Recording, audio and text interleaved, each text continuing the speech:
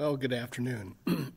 it's a Thursday afternoon, and per my last video, not much has happened for the last two weeks, three weeks, I guess. But what has happened is the tornado room, or the safe room, or whatever you'd like to call it. Just, I've just completed putting the lid on it, pouring the wet concrete on top of the the structure and the forms are going to be up for two weeks, but they just, just finished pouring it. So the rest of the video is just showing how that happened, and anyway, have a great day.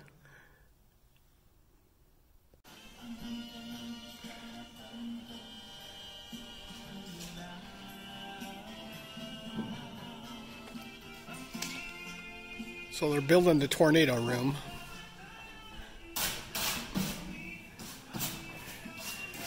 Since it didn't cost me a whole lot of money extra, because I had the dimensions changed from 10 foot by 12 foot to 12 foot by 12 foot, so it's a square.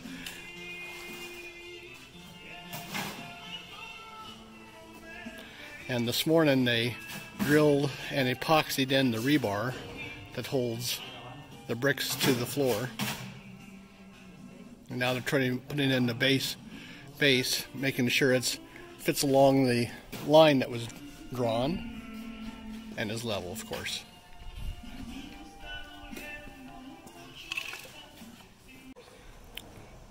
Well, after the first day, they've actually got three rows put up. They worked late, almost three rows. There's a couple of bricks missing back there.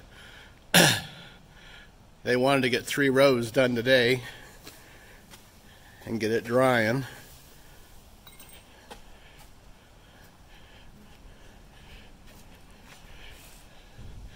So it's looking good.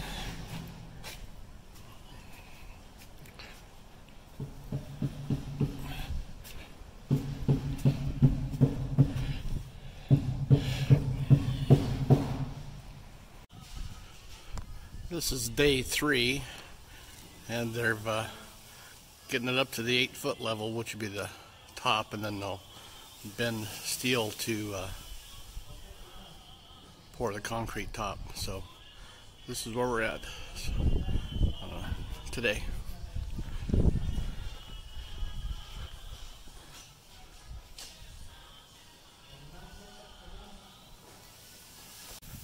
So they've just left for lunch and they've got it round and put the Steve the steel lintel which is the top of the door so now the, the blocks can cross over and then that way we'll have the right door opening. For me, it's 80 and a quarter high and 42 and a quarter wide. So we're getting there, and that's the last row of bricks for the height. And then, like I say, they'll start bending rebar to put the roof on.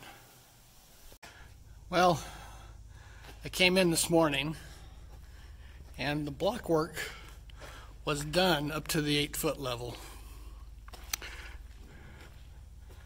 And it looks pretty good.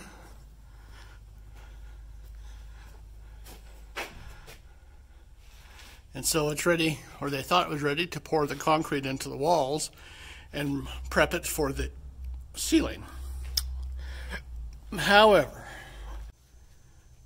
however, I got my tape measure out and the distance from the side to side for the rough rough opening is supposed to be 42 and a quarter inches. Sure enough, it was. And the rough opening from top to bottom is supposed to be 80 and 1 quarter inch. Good enough. So I get my tape measure out and I measure that distance and it's only 80 inches. Exactly 80 inches. So I called the concrete guy over and I said, hey, this is only 80 inches versus 80 and a quarter. And he says, no, it's 80 and a quarter. I measured it before we left. And then he measured it's only 80 inches as well. And he says, oh man, he told the guy to let that steel plate in there dry before stacking the last two rows, those two, four, six, eight, ten blocks on there. But probably, so he's trying to get done by the end of the day. He stuck it on there while that concrete was wet, and it pushed down that steel plate by a quarter of an inch, and so I lost my headroom. So uh, they're going to have to pull those 10 blocks out and then raise that piece of steel up by a quarter of an inch and then re get that done because today is Monday and he needs to get that done today or tomorrow morning because he needs to let it dry so he can put in the concrete into the wall to get it stabilized before putting the top on. So that's where we're at on this so far. Okay, so they're in here on a Sunday fixing the correction. So they've uh, pulled those 10 blocks out and I've actually put a frame to hold the door height correctly. So looks like we're getting there. And they plan on uh, filling the concrete, the remainder two rows today and then uh, hopefully get the top rebar set in sometime next week.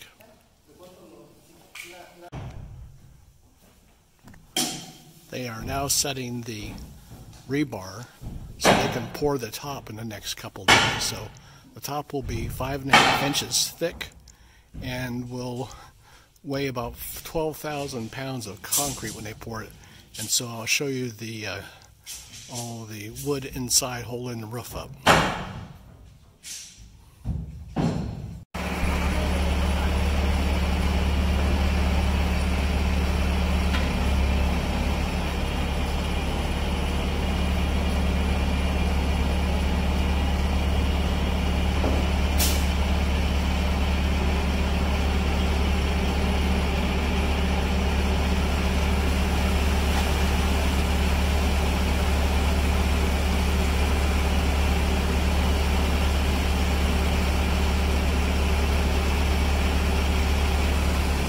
Because they're lifting it up and it's inside, they're using a skid steer to put the concrete up on the roof.